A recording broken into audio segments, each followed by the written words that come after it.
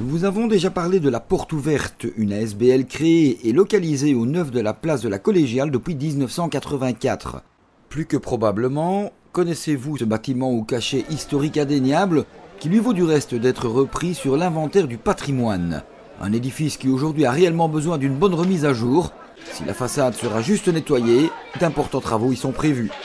Nous avons besoin d'agrandir l'espace euh, de la ludothèque, hein, puisque c'est une activité euh, qui euh, fonctionne de plus en plus et qui nécessite de l'espace. Nous allons récupérer des espaces sur l'ancien couloir d'accès au cinéma. Et à l'étage, nous avons une salle que nous mettons à disposition pour différentes activités. Et là, la salle sera complètement remise aux normes avec une cuisine professionnelle et aussi un accès pour les personnes à mobilité réduite. Seule la partie avant du bâtiment est donc concernée par cette remise à niveau, avec pose de nouveaux châssis, d'un nouveau toit et son isolation, ainsi qu'une réfection intégrale de l'électricité et de la production d'eau chaude. L'évolution de l'ancien cinéma reste d'actualité, avec pour préférence la création d'un nouveau cinéma, mais pour l'heure, aucun projet n'a encore pu aboutir.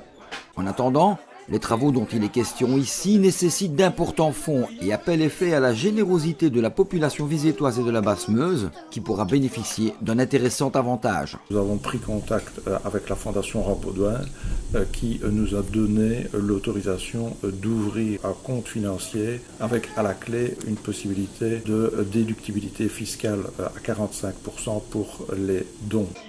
Profitons de l'occasion pour rappeler les objectifs de cette ASBL très active à viser ce que fait pour nous l'animatrice socioculturelle du centre. La porte ouverte est vraiment un lieu d'accueil et de rencontre pour toute personne visétoise euh, sur la Basse-Meuse ou même en dehors de Visée. Nous avons plusieurs services, c'est ce qui nous sert d'outil pour susciter la rencontre et l'échange entre les personnes de différentes générations. La porte ouverte est ouverte tous les jours euh, de 9h à 16h pour euh, l'aspect secrétariat écrivain public. Et alors pour le service euh, ludothèque, c'est le mercredi après-midi. Le vendredi, une fois par mois, nous avons le groupe adulte. Et aussi des soirées jeux qui s'organisent une fois par mois, le troisième samedi du mois. Ce sont des personnes qui viennent ici pour passer un moment entre elles et les activités se font autour du jeu. Mais alors, nous avons aussi des activités qui se font en dehors des locaux. Il y a l'apprentissage du français pour les personnes euh, qui maîtrisent peu ou pas le français et qui sont accompagnées de leur euh, bébé parce qu'elles n'ont pas de moyens euh, pour faire garder les enfants. Le début des travaux est prévu pour septembre prochain pour une durée estimée à environ 4 mois dans le meilleur des cas. Reste maintenant à espérer que la population réagira positivement et en masse à cet appel.